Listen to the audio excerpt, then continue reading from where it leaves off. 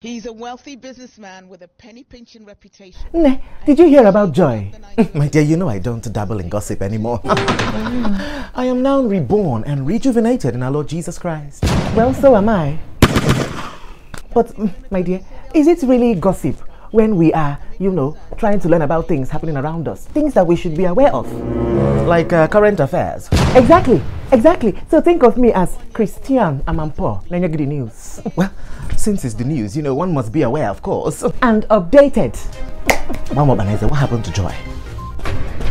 This is the news at 10. A lady named Joy has quite ironically stolen the joy from someone else's home as well as hers. She was caught in a hotel with another woman's husband. Our correspondent is on ground with the full details. correspondent. Okay. Thank you, Rachel. Uh, we're currently live at the Aquamico Hotel right here in the city of Lagos, Nigeria. The woman in question is in fact a married woman and was caught in this adulterous act by her husband.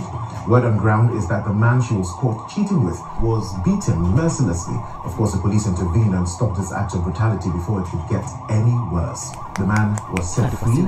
Joy and the husband, Clinton, will be escorted home by the police.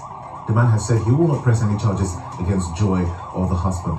Uh, right now, we, we can currently see the man trying to make a phone call right here in front of the hotel. When the news is getting juicy. Um, maybe trying to call someone who's going to come help him. My love. Hello, Sharon. In Uh, why do you sound like you're in a crime scene? Iburu mother. Sharon, Sharon, you have to promise me not to overreact. Bakana, a lot of things may, a lot of things may now. You have to promise not to overreact. I need you to come to Aquamico Hotel. But